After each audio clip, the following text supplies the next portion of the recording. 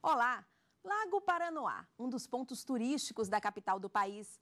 O lago artificial, que encanta pela beleza, serve para aumentar a umidade do ar, principalmente na época da seca. É usado também para a prática de atividades físicas e muito lazer.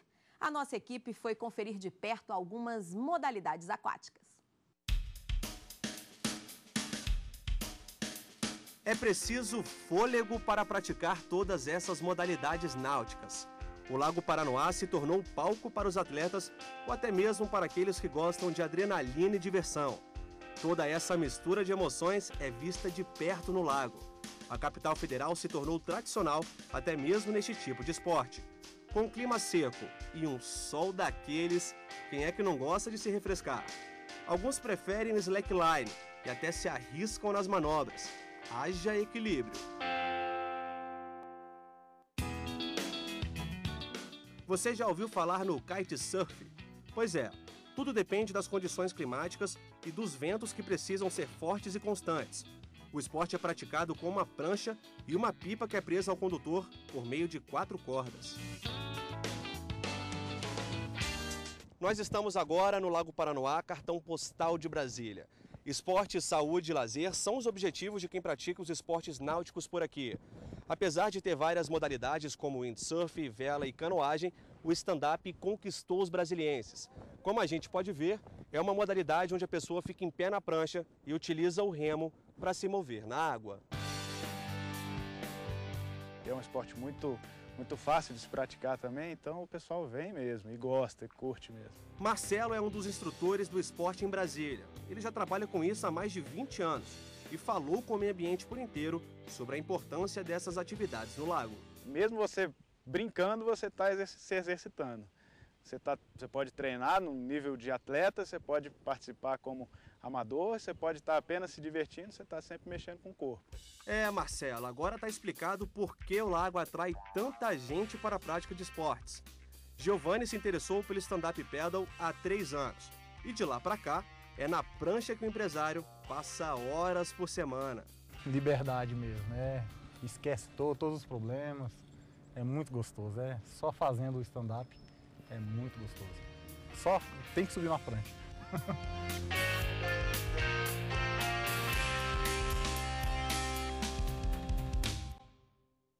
É, mas Brasília cresceu e surgiram os problemas, entre eles a poluição. Há um mês, o mesmo lago que atrai turistas e os moradores da capital foi contaminado com manchas em várias partes, aparentemente de óleo, o que mobilizou especialistas e até a Marinha. Pelo menos 3 quilômetros de manchas de óleo tomaram parte do Lago Paranoá. Este foi o resultado do vazamento em uma caldeira utilizada por um hospital público da cidade para esterilizar equipamentos. O óleo ele é mais leve do que a água, então ele forma uma camada na superfície da água que acaba atrapalhando a infiltração de, de, luz solar, por exemplo, e que vai afetar a, a produtividade das, das, algas e então afetar todo o balanço é, ecológico do ambiente, né? Além de impregnar também na pele, nas penas dos animais e causar mortandade, causar prejuízo para a biota aquática. Né? E também a água com óleo torna-se imprópria para banho, para contato né, é, direto. O Lago Paranoá foi construído junto com Brasília. O objetivo inicial era aumentar a umidade relativa do ar nas proximidades. A água é utilizada apenas para geração de energia elétrica e lazer. Nos últimos anos, houve vários processos de despoluição, mas ainda é fácil perceber que em alguns pontos a qualidade da água não é nada boa poluição que reflete diretamente na cidade. O que é, as pessoas precisam entender é que tudo que acontece, não só aqui diretamente no lago, mas na, na cidade como um todo, acaba refletindo no lago, porque tudo é direcionado para cá. As redes de drenagem são direcionadas para cá.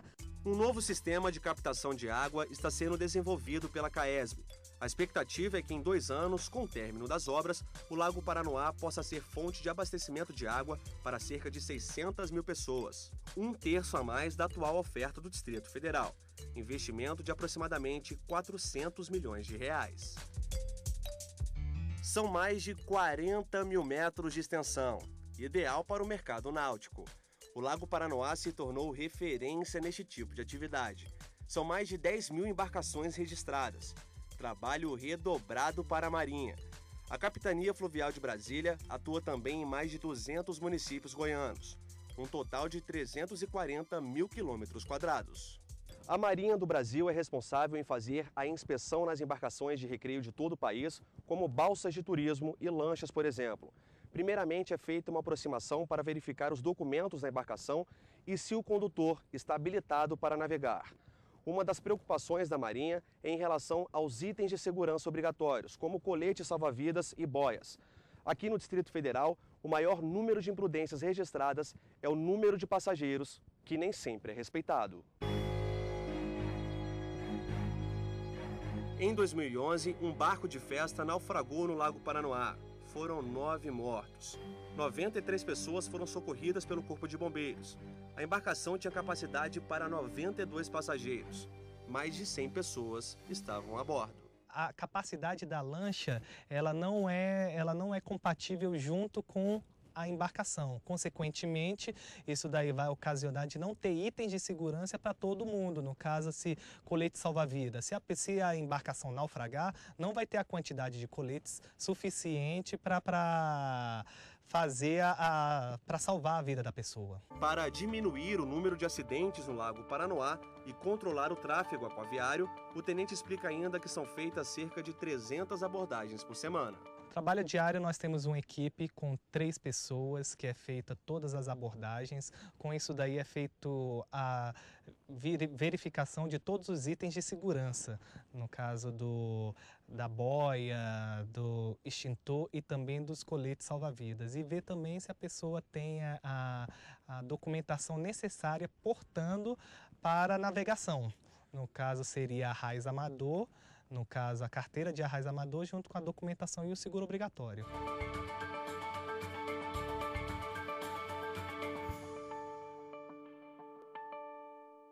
Em Belo Horizonte também tem um oásis urbano em meio a um conjunto arquitetônico que pode virar patrimônio da humanidade. É a Lagoa da Pampulha, mas ela também sofre as consequências da poluição. A pior delas é o assoreamento.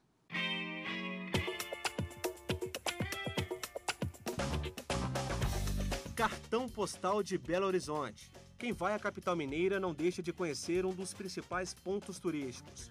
A Lagoa da Pampulha faz parte do conjunto arquitetônico da cidade. É rodeada pela Igreja de São Francisco de Assis, o Museu de Arte, Casa do Baile e o Yacht Tênis Clube. Ela foi projetada na década de 40 por Oscar Niemeyer. Antes disso, a Pampulha era conhecida como Zona Rural. A lagoa foi construída para receber a água da chuva e evitar enchentes além de contribuir para o abastecimento de quem mora na região. A Pampulha atrai moradores e turistas. São 18 quilômetros de extensão. A verdade é que a Orla da Pampulha oferece várias opções de lazer, como o Jardim Zoológico e até o estádio Governador Magalhães Pinto, mais conhecido como Mineirão, que vai sediar os Jogos da Copa do Mundo do ano que vem. E quando o assunto é esporte, é claro que a gente não poderia deixar de mostrar a quantidade de pessoas que praticam exercício físico todos os dias neste cenário. Olha aí o seu Newton, às margens do lago, bem concentrado no momento dele de lazer. O aposentado diz ser um amante da lagoa. E não é história de pescador não, viu? Tem gente que pega, pega peixe até de 15, 18 quilos aqui, ó. O que mais se pesca aqui é a carpa. a carpa é um peixe excelente. Apesar de todos estes benefícios que a lagoa oferece, os problemas começaram a aparecer com o passar dos anos. A poluição, por exemplo, atinge diretamente os moradores. Grande parte do esgoto da região é depositado nos afluentes que vão para a lagoa. Antigamente, a gente tinha aqui bastante atividades náuticas que aconteciam na lagoa. Com a, o aumento dessa poluição e, e, uma série de outros fatores, né, essas atividades deixaram de existir. A lagoa está muito suja, tá, nem está suja, está imunda. Está imunda, sabe? Estão com esse projeto de limpar aí, mas eu não estou acreditando muito não. Porque quem viu essa lagoa, que eu já vi que você podia beber dessa água, e ver se não podem colocar a mão. O principal perigo é o assoreamento causado pelas construções próximas à Pampulha. Todo lago está condenado à morte. Né? O seu tempo de vida depende do que se faz na sua bacia hidrográfica. E a Pampulha, então, já está chegando aos seus 80 anos, né? e a previsão de que com 100 anos ela realmente estaria totalmente assoreada. Por quê? A produção de sólidos na bacia né? é, vem sendo é, se dando de forma é, muito acelerada em função do processo de ocupação é, urbana de sua área. Risco para a população e também para a fauna. Os animais se misturam com toda esta sujeira. São latas de bebidas e até garrafas PET, que na natureza chegam a levar 200 anos para se decompor. Prejuízo ao meio ambiente. E a placa mostra que a pesca não é permitida. Por conta da sujeira, os peixes são impróprios para consumo. Quem passa pela lagoa todo dia reclama da situação. Que a gente vê que a lagoa precisa de mais cuidado, né? É um patrimônio que a gente tem, merece ser mais cuidado. A administração municipal diz que está sendo feito um trabalho de recuperação. Então agora, por exemplo, vamos retirar 800 mil toneladas de matéria orgânica da Lagoa da Pampulha. Vamos fazer um trabalho hercúleo para devolver à cidade de Belo Horizonte esse patrimônio.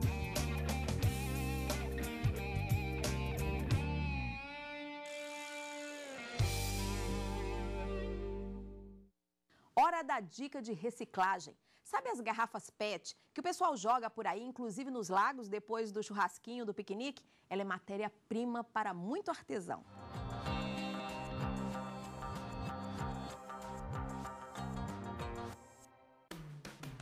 O programa Meio Ambiente por Inteiro descobriu que aqui em Planaltina, a mais ou menos 45 quilômetros de Brasília, tem um grupo chamado Oliveira. Esse nome vem do sobrenome da família. Mãe e cinco filhos que fazem de tudo com garrafas PET. E claro, a gente veio conferir de perto e conhecer o trabalho. Vamos lá.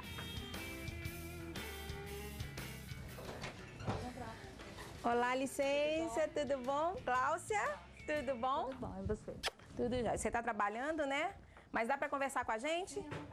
Estamos curiosos sobre esse trabalho da família Gláucia de transformar garrafa PET em um monte de coisa. O que, que você está fazendo aí? No momento eu estou cortando para fazer um pisca-pisca, que é esse daqui. Tá. E o primeiro passo é o quê? Cortar as pétalas. Depois da, de cortar as pétalas, a gente queima, molda, perfura e monta o pisca como está aqui, ó. As florzinhas queimadas. O pisca-pisca é um produto que sai muito nesta época do ano. Mas tem ainda as luminárias. Agora, o que o grupo investe forte mesmo é nas bijuterias. Colares, brincos e pulseiras de todas as cores e formatos.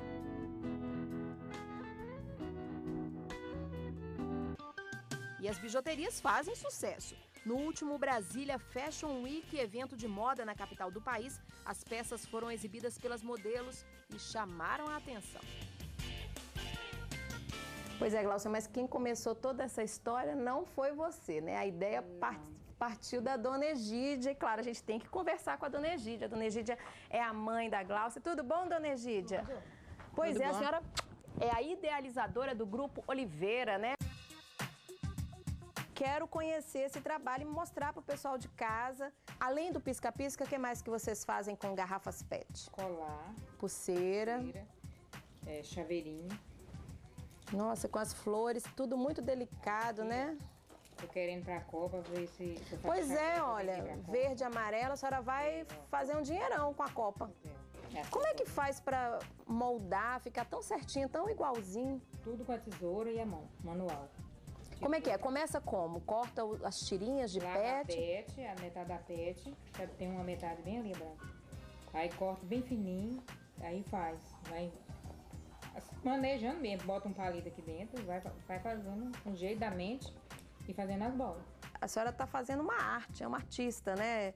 Tirando, transformando um material que é pro lixo no objeto de decoração, numa bijuteria. Eu, eu posso estar de carro, eu vejo uma pet, trago para casa. Não deixa no chão. É. Faz uma diferença para você saber que seu trabalho hoje tem esse, essa preocupação ambiental? Eu acho que sim. Bom, eu acredito muito, né? Que cada um tem que fazer a sua parte.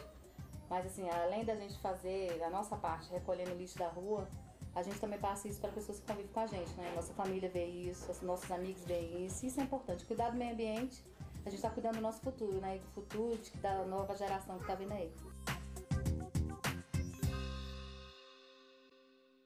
E no próximo bloco, uma conversa com o advogado Marcelo Feitosa e com Jerônimo Santoro, que pratica esportes no Lago Paranoá. É só um instante.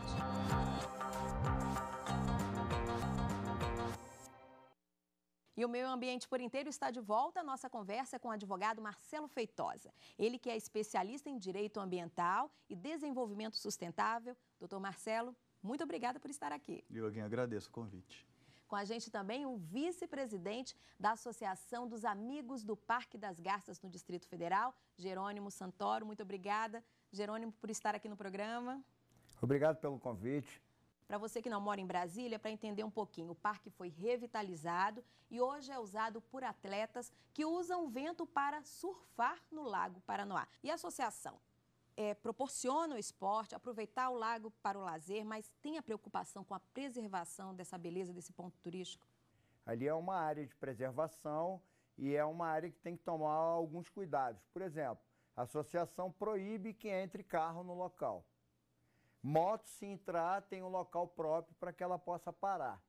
E as pessoas que utilizam é, são conscientizadas de que aquilo ali é uma área de preservação, que a gente precisa daquele ambiente para os animais desovarem, para os pássaros é, fazerem os seus ninhos. Inclusive no, no Parque das Garças tem 140 espécies de pássaros. Tem uma pessoa que vai lá constantemente fotografar, é, catalogar. Então é um local que, além do esporte, proporciona vida, né? E a gente tem que cuidar do local. Com relação à lei, em, em que, que o Estado se baseia para poder proteger os recursos hídricos? Na verdade, nós temos uma Constituição, elaborada em 1988, que consagra o direito de todos terem um meio ambiente ecologicamente equilibrado. E, ao mesmo tempo, essa Constituição incumbe o dever de fiscalização ao poder público e a toda a coletividade. Então, associações desta natureza são muito importantes para a manutenção desses, eu chamaria de oásis urbanos, para que esses espaços privilegiados continuem sendo utilizados de forma sustentável, assim como também preservados da forma que a comunidade aqui do Distrito Federal merece. No início do programa, a gente viu a reportagem com, ressaltando bem esse problema da mancha que apareceu no mês passado no Lago Paranoá. Como é que fica a responsabilização disso? De quem, quem pode ser punido por esse vazamento? Esse é um problema muito sério. O direito ambiental penal hoje consagra a poluição em níveis satisfatórios, desde que essa poluição ofereça risco à saúde humana e à mortandade de animais da ictiofauna, e essa responsabilidade penal ela pode ser realizada até mesmo de forma objetiva, ou seja, independente mesmo de dolo ou culpa. Há que se observar, em primeiro lugar, a origem dessa poluição e aí sim partir para uma investigação penal no campo do direito penal para responsabilizar criminalmente quem deu causa a essa. E se for pessoa jurídica, o Supremo Tribunal Federal hoje entende que até mesmo a pessoa jurídica pode ser responsabilizada por esse dano. Que tipo de responsabilização é essa? Seria uma responsabilidade penal objetiva, ou seja, a pessoa jurídica passa a ser ré num processo criminal. E se eventualmente é, a responsabilidade não conseguir, na sua integralidade, ser apurada, os gerentes ou sócios dessa empresa passam então a ser responsáveis. A lei também prevê multas? A lei prevê multa, a lei prevê multas, há um decreto federal de 2008 que prevê multas nesse caso que podem variar entre 5 mil reais até 50 milhões de reais a depender do nível da poluição. Se bem que se a gente pensar é, é, é um valor muito alto, mas para ressarcir, recuperar o meio ambiente é, é um valor ainda, é, é, é digamos assim, não dá para mensurar, né? Esse é o maior problema desse tipo de ilícito. A gente categoriza alguns danos ambientais como irreversíveis. Em alguns casos, ilícitos dessa natureza podem ser catalogados como irreversíveis, porque a mortandade de animais e o prejuízo para a natureza é muito grande e irrecuperável. Jerônimo, vocês que estão ali no lago com frequência, como é que vocês avaliam a situação do Lago Paranoá hoje? Olha, na parte da Raia Norte, a poluição é bem pequena, é mínima chega a ser em torno de 80% favorável ao banho e à utilização do lago. Às vezes até mais de 80%. E esse problema da mancha não chegou a afetar lá, porque é, a corrente de vento que vem do Paranoá leva mais para o lado do iate e não traz para o lado da Raia Norte, que é onde fica a nossa reserva. O que, que você vê hoje de problema hoje para nessa, nessa questão do Lago Paranoá? Eu vejo falta de fiscalização. Essa é a grande realidade. Falta de fiscalização em lanchas que jogam detritos no lago, jogam óleo, combustível e outras coisas, né? E eu acho que deveria ter uma fiscalização maior com relação a isso. E as pessoas também se conscientizar que não deve jogar coisas no lago, na margem do lago, nos ambientes naturais. Eu acho que precisa uma atuação do governo maior com relação à educação ambiental. Eu acho que falta isso. Eu acho que deveria ter um, um processo mais educativo nas escolas, nas faculdades e na própria televisão. A propaganda deveria ser em função da conservação do meio ambiente, porque o meio ambiente é vida. Sem o meio ambiente a gente não vai viver. Marcelo, essa questão da lancha é bem interessante, porque no fim de semana a gente vê, né? São inúmeras lanchas, o pessoal faz muito piquenique às margens do lago, né? É, faz, a gente faz até churrasco. Como é que fica? De quem é a obrigação dessa fiscalização, de ver se alguém não jogou alguma coisa da lancha? É do governo local? De quem é? Na verdade, a gente sabe que esses espaços são espaços de natureza eminentemente públicas. E a obrigação de fiscalização, no caso do Lago do Paranoá em específico, é do órgão ambiental estadual aqui do Distrito Federal, que tem o poder de polícia ambiental. Além disso, existe uma polícia militar ambiental que tem esse dever de vigilância, além de a associação também, por meio dos seus moradores e dos usuários, também auxiliarem o poder público nesse combate. E eu diria que o, o amigo acaba de resumir o grande problema e o X dessa questão, que é a educação ambiental em todos os níveis de ensino, que talvez resolveria em muito esses problemas ambientais modernos. O Jerônimo também falou a questão de, de usar o lago para nadar, né? Tem uma área que é onde é permitido. E como é que fica a segurança dessas pessoas? A gente sabe que muita gente acaba nadando, toma uma cervejinha, ou às vezes até não, não sabe nadar direito, se arrisca. Se acontece um acidente com uma pessoa dessa num lago, de quem é a responsabilidade? Tem que colocar um salva-vida igual num clube? Por ser um espaço de natureza pública, esse dever de vigilância e de fiscalização são dos órgãos do Estado. A Polícia Militar Ambiental pode auxiliar. O Corpo de Bombeiros tem esse dever de fiscalização. E as pessoas têm que saber também que há limites para se utilizar e regras específicas. Eu acho que há todo um regramento específico para esse tipo de, de, de, ambiente. Esses oásis urbanos têm que ser preservados e têm que ser mantidos mas eles também têm que ser informados de como utilizá-los. Em primeiro lugar, eu quero dizer que essa fiscalização cabe tão somente ao poder público. Jerônimo, e que para quem pratica, como é que essa combinação de brincadeira, de lazer, de esporte e segurança, como é que vocês fazem? Responsabilidade acima de tudo. Lá, por exemplo, no nosso espaço, a pessoa que vai utilizar o stand-up, ela só sai se for de colete e com a corda, que a gente chama de lash ou, ou slash, que prende na perna junto à prancha. Se ela por acaso cair dentro d'água, a prancha não sai de perto dela. Aí tem gente que fala, ah, mas eu sei nadar. Não é problema nosso. Você sabe nadar, se você quiser tirar o colete lá no meio do lago, é problema seu. Agora aqui você só sai de colete e só retorna de colete. Outra coisa também muito interessante, é, as lanchas que andam, as embarcações que andam no lago, não tem limite eles também passam à beira do, do lago e não tem assim raciocínio lógico que ali pode ter uma pessoa nadando ou praticando o esporte. Então a Marinha também deveria regrar e colocar uma distância, ou pelo menos informar as pessoas dessa distância, coisa que não existe. Houve outro dia um caso, é, um rapaz com uma lancha, aparentemente deveria ter tomado alguma coisa, Passou várias vezes por trás da prancha de um casal que estava de prancha até derrubá-los. Nós chamamos um salva-vida que estava passando, o salva-vida foi lá, conversou com o cara da lancha, o cara da lancha foi embora, não aconteceu nada. Então isso para mim não é fiscalização. Entendeu? Eu não sei se ele era a pessoa certa para falar com a pessoa na embarcação, mas isso é uma situação crítica, porque ele poderia ter causado um, um acidente grave com a pessoa da prancha. E aí, não tem punição, não tem nada?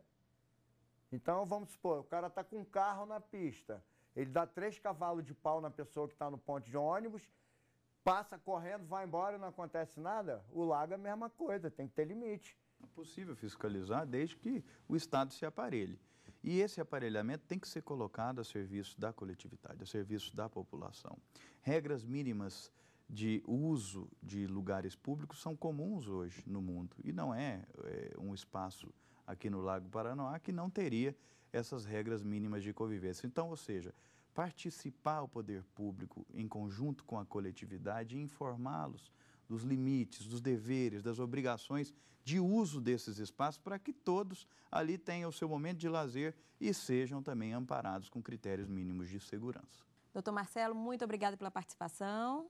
Eu quem agradeço, é sempre um prazer estar aqui no programa com vocês. Jerônimo, da mesma forma, muito obrigada. Eu que agradeço. E o Meio Ambiente por Inteiro fica por aqui. Você pode rever os programas no site da TV Justiça. Basta acessar www.tvjustiça.jus.br. E se você tiver alguma sugestão de reportagem, claro, é daquele jeito, escreva pra gente. O e-mail é meioambienteporinteiro tudo junto, arroba stf.jus.br. Na semana que vem, nós temos um novo encontro marcado. E eu espero você. Tchau, tchau.